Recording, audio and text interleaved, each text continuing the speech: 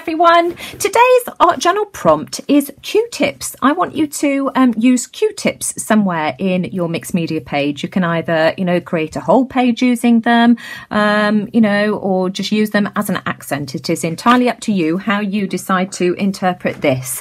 Um, I'm working on my usual piece of mixed media paper and what I am going to do, I've got some chalk pastels here. I haven't used them in a while. Um, I think these are really fun to play with. Mine are the Inscribe pastels. I've got 64 colours. They're just soft chalk pastels.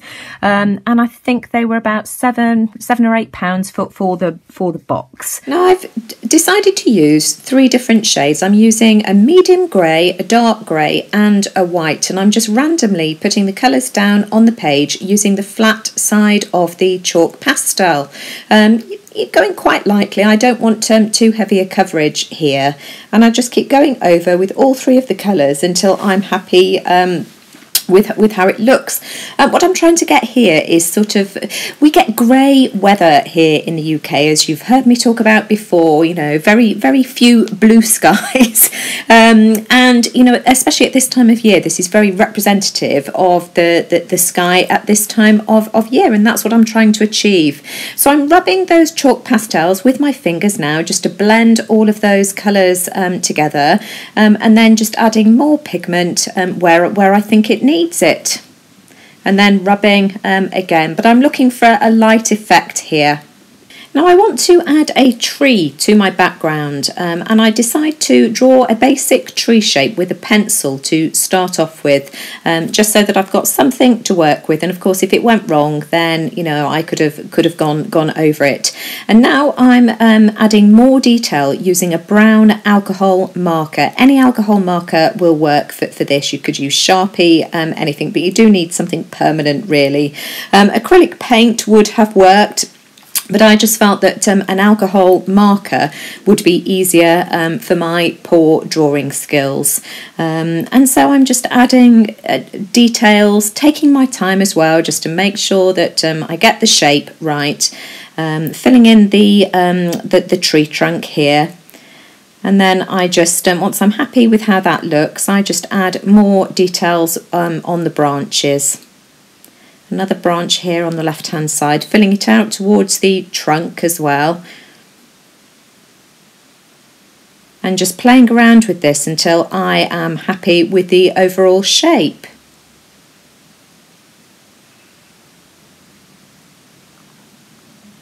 Adding more branches um, really loosely here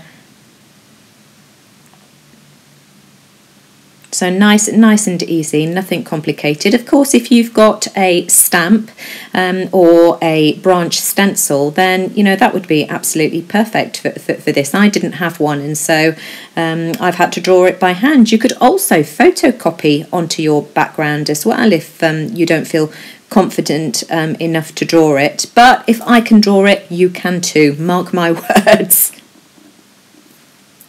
Now I'm happy with the shape of my tree and so I'm going to add some colour with my Q-tips. I put um, half a dozen or so bundles together um, with anything between five and six and sort of eight and nine um, little Q-tips bundled together with um, a, a, very small elastic band. And I'm starting off from my light colours and getting gradually deeper. So here you can see me using some um, cad yellow um, and I'm, I'm adding it to the trees and some fallen leaves on the ground as well. And then here I'm using the other end of the Q-tip now just to add um, a slightly deeper yellow. And I'm just really pressing lightly with these Q-tips as well. Um, next I am using some um, yellow iron oxide, which I think is a really pretty colour. And as I say, just getting, you know, gradually darker and then flipping over and coming in with some gold. I thought gold would look really pretty on this page too and just add a, a nice sheen. And so I just keep building up those leaves as and where I think um, it needs it. Next I'm adding some quinacridone gold. Um, again, this is just a really beautiful colour, very autumnal. And again, not um, forgetting to add some falling leaves as well to the ground and um, giving the impression that the leaves are falling down.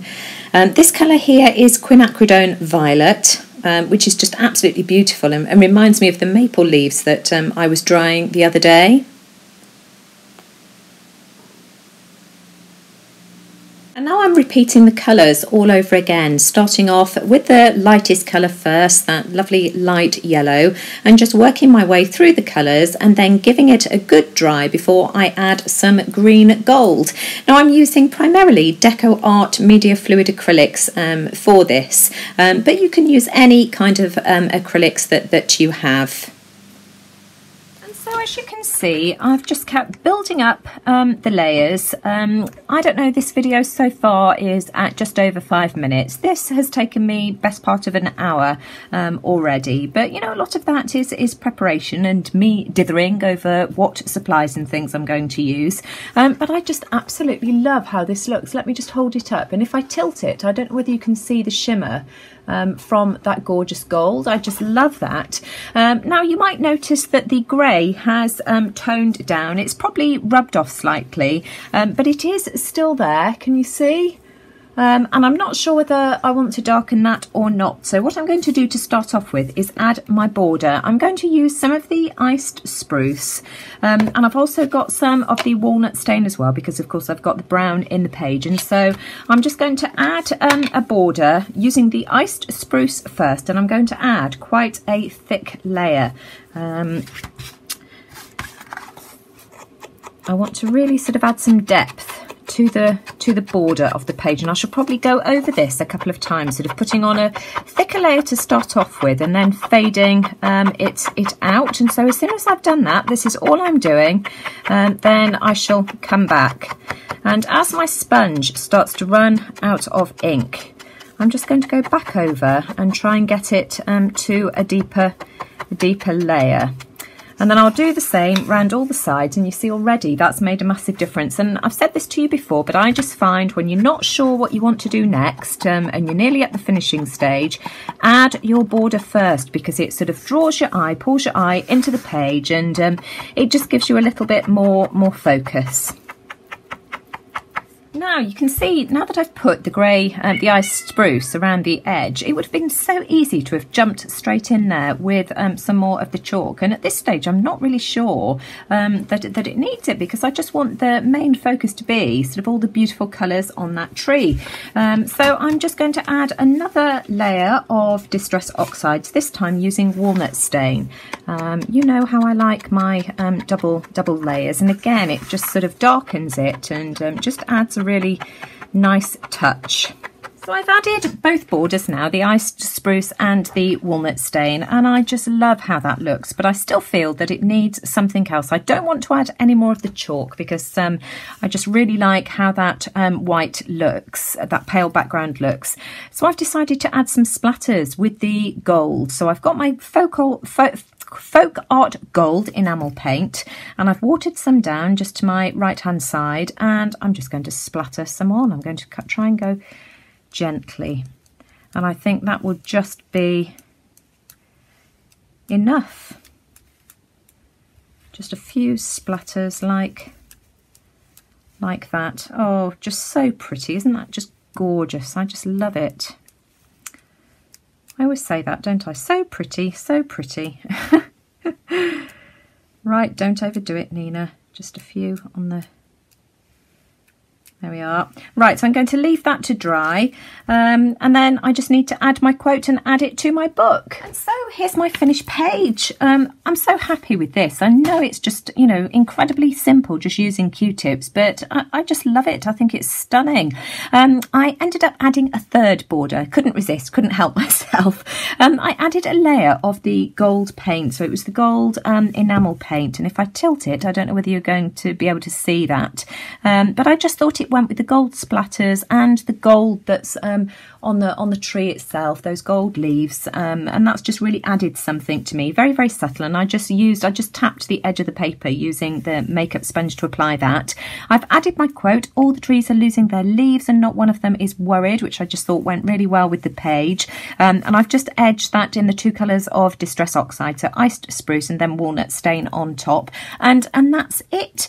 Um, so I look forward to seeing how everybody else decides to interpret um, this week's prompt, Q-tips, cotton swabs. Um, I'm going to leave the link to a few videos in the description box below because the Art Sherpa has got several videos um, where she's created, um, where she does paintings um, with um, Q-tips. She's got a fantastic um, dandelion, a beautiful wisteria, a lilac um, that she's done as well. I'm also going to leave the link to one of Jay Lee's um, videos. Um, Jay Lee specialises in watercolour paintings and he's got a fantastic one with, I think it was a lilac, but very, very simple um, page, but very, very effective. And also I'm going to leave the link to one of Angela Anderson's videos. She's got a couple on her channel. She's got a lavender and a beautiful um, hanging flower um, arrangement, which is gorgeous. So that might just give you some, some more ideas. Um, but if you like what I've created here, as always, I'd really appreciate it if you would give me a thumbs up because it just lets YouTube know that you like what I'm doing. And of course, let me know what you think of, of this in the comments below. I always hear, love to hear what you've got to say. Um, and so take care, everyone. I'll see you all again soon. Bye for now.